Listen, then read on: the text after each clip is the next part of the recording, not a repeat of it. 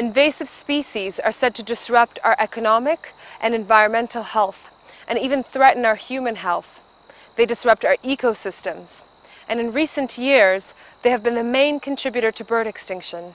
Probably one of the first major invasive species was the lamprey eel. It was brought in on, on uh, ballast tanks and bilge tanks years ago. We've had purple loosestrife come in. Uh, we've had uh, zebra mussels. We've had all sorts of other invasive species coming into our Great Lakes because um, there's not proper procedures are not being followed by a lot of shipping companies. They're dumping Mediterranean water in the Great Lakes. The larvae, when it's in the larval stage, can last up to three days on a boat. So if you don't wash your boat down properly, you can take it. The zebra mussels, for example, makes things look pretty, but in fact they kill off many species. So in the southern part of, of County, they're having more growth of this algae and it's partially because of zebra mussels cleaning the water more. They, they take out all the nutrient, they filter it, makes it look shiny and crystally. And when the water is cleaner, it means that the sunlight can come through to the bottom more. But they're, they're destroying and coating all the natural perch beds in Lake Erie. For instance, the water that's behind me, these plants, if the zebra mussels are in there cleaning it, those plants will be able to grow more profusely.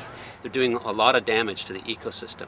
Canada needs to be more diligent on policing that and, and, and, and basically, you know, levying the, levying the fines. So there are a number of different things in the ecosystems that are being affected by climate change.